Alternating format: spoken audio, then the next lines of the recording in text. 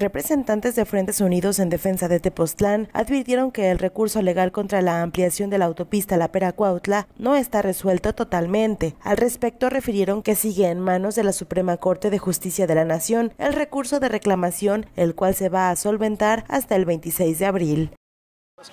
Los que sí pueden hacerlo, pues nadie, según el gobierno. Esta es una acción clara de autoritarismo ya que cínicamente nos niegan nuestros derechos y garantías fundamentales. Estos atropellos también se están cometiendo por el Congreso local, que está al servicio de la peor escoria política conocida, un tal Graco Ramírez.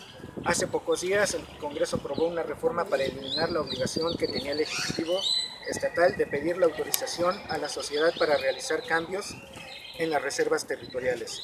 Esto significa que las leyes se están modificando para que Graco Ramírez tenga más poder y pueda vender las reservas territoriales de nuestro estado al mejor postor. Como un regalito más al desgobernador, los prostituidos diputados del Congreso eliminaron la ley de participación ciudadana, otra grave señal que muestra que quienes nos desgobiernan están preparando el camino para seguir cometiendo sus robos y actos de corrupción impunemente sobre el amate amarillo y Tlachomulco. Hace una semana el vocero del gobierno, Matías Quirós, dio una conferencia de prensa donde... Con información de Tlaoli Preciado, la Unión de Morelos.